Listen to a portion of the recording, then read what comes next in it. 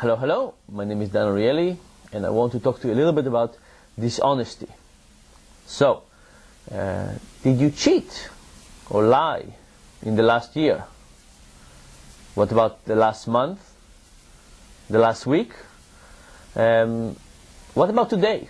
Maybe if you're watching this first thing in the morning, you haven't had a chance to cheat and lie yet, but maybe if it's later in the afternoon, you had a chance to do so.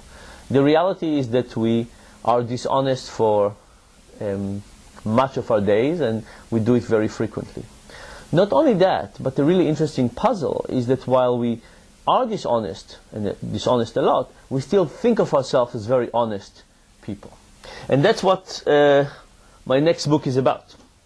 It's called The Honest Truth About Dishonesty How We Lie to Everyone, Especially Ourselves.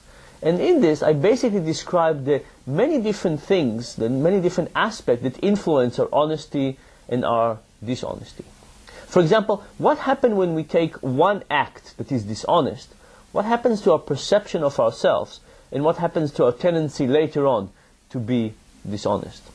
What happens when somebody else's welfare is involved? What happens if we are dishonest, somebody else could benefit from that?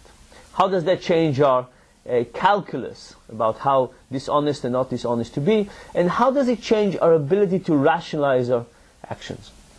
Anyway, um, I think it's a fun book. Um, it's very different from my first book. I think dishonesty is actually quite important. I think it's important for us to realize where we go wrong, the kind of things that we do, and I think it's important to realize what are the cases in which the world is likely to do something not so honest and not so good for us.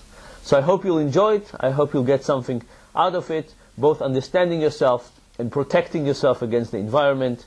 And if you have any questions, comments, or concerns, let me know. Take care.